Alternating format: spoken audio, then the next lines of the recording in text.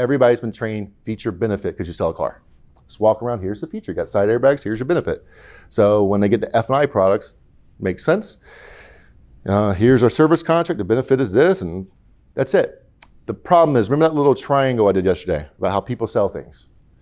Bases at the bottom, food, water, things you need to survive. Pretty easy presentations. Next, the best buy, the cars, and everything is feature benefit. Then you have insurance and security because once you buy these things, you want to take care of them, but that's a different presentation.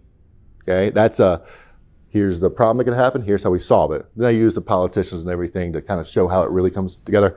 Um, but it's not the same selling as you're selling a car. F&I is completely different than selling a car.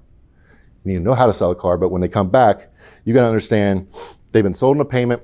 They told the salesperson that they uh, won't go anymore, never going to buy anything, don't want to buy anything from you.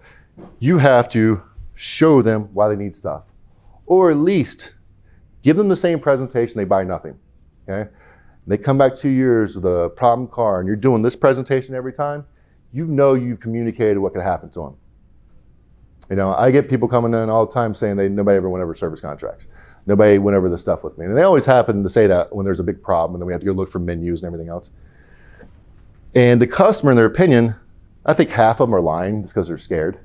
The other half really don't remember it because they tuned out as soon as that happened. As soon as the product started coming out, don't want any of that, just want to sign and take my car.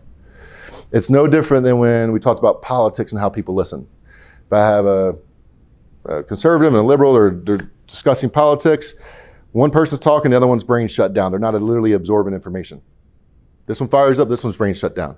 As soon as you, like that first guy did the presentation, here's your menu, here's your options, let me go over and tell you what, why I have them. Done. They're not listening to you. Their brain is reacting to what they just saw and they're thinking about their budget and everything else and what's going on as you're going blah, blah, blah, blah, blah, blah, blah. You give the best presentation in the world, they didn't hear a word. That's a problem.